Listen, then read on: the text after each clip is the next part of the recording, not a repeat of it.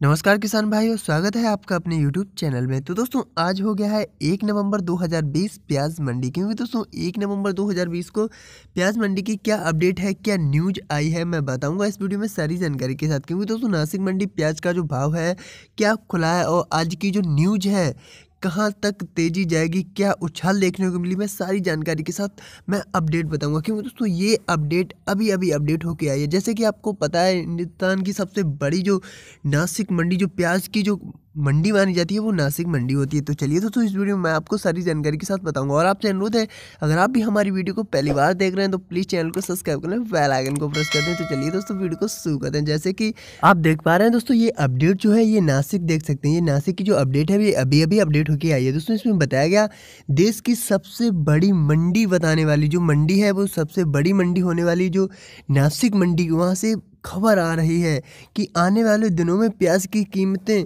लोगों को कुछ ज़्यादा ही रुलाने वाली हैं। आप देख सकते हैं दोस्तों, क्योंकि नासिक की जो मंडी है, वो प्याज की प्रति क्विंटल जो कीमत है 800 से छलांग मार सकती है। क्योंकि दोस्तों, अभी सत्तर, पचहत्तर सौ तक का जो भाव है, वो नासिक मंडी में देखने को मिला है। तो दोस्तों, अब ये खबर आ रही है कि 800 से भी ज़्यादा जो छलांग है, वो मार सकती है। मतलब जो सत्तर पचहत्तर आठ हज़ार तक की जो अस्सी रुपये प्रति किलो जो रेट है, वो भी हो सकता है। दोस्तों, ये बहुत बड़ी अपडेट है।